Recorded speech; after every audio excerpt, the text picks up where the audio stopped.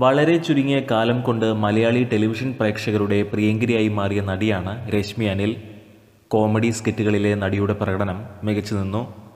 Channel പരിപാടികളിലൂടെ പ്രേക്ഷക ഹൃദയങ്ങളിൽ സ്ഥാനം നേടിയ രശ്മി അനിൽ ഇന്ന് സിനിമാ രംഗത്തും സജീവമാണ്. കഴിഞ്ഞ ദിവസം ഒരു ചാനൽ പരിപാടിക്കിടെ നടി വെളിപ്പെടുത്തിയ ചില കാര്യങ്ങൾ താരത്തിന്റെ ആരാധകരെ നടുക്കിയിരിക്കുന്നു. രശ്മിയുടെ വാക്കുകൾ ഇങ്ങനെ സാരിയല്ലാതെ മറ്റൊരു വസ്ത്രവും ധരിക്കാൻ ഭർത്താവ് അനുവദിച്ചിരുന്നില്ല. നിറവയറിലും സാരി ഉടുക്കണമെന്ന് നിർബന്ധമായിരുന്നു അദ്ദേഹത്തിന്. രണ്ടായിരത്തി ആറിലായിരുന്നു ഞങ്ങളുടെ വിവാഹം. ഭർത്താവിന്റെ ക്യാരക്ടർ തന്നെ വേറെയായിരുന്നു.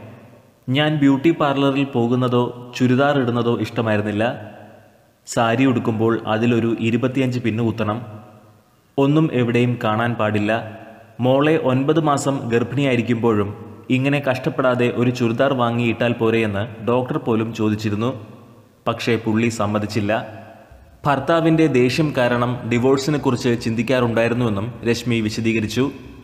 ചാനൽ പരിപാടിയിൽ ഭർത്താവ് കൂടെ ഇരിക്കുമ്പോഴായിരുന്നു താരത്തിന്റെ വെളിപ്പെടുത്തൽ. ഭർത്താവിനെ ഇങ്ങനെ മാറ്റിയെടുക്കാൻ താൻ പെട്ട പാട് പറയാതിരിക്കുവാൻ പറ്റില്ല എന്നും ഇപ്പോൾ താൻ പറയുന്നത് പോലെ കേൾക്കുമെന്നും രശ്മി കൂട്ടിച്ചേർത്തു. രശ്മി അനിൽ എന്ന നടിയെക്കുറിച്ചും താരത്തിന്റെ വെളിപ്പെടുത്തലിനെക്കുറിച്ചും നിങ്ങൾ പ്രേക്ഷകർക്ക് എന്താണ് പറയുവാനുള്ളത്? കമന്റുകളായി രേഖപ്പെടുത്തുക. ഞങ്ങളുടെ യൂട്യൂബ് ചാനൽ സബ്സ്ക്രൈബ് ചെയ്യുക.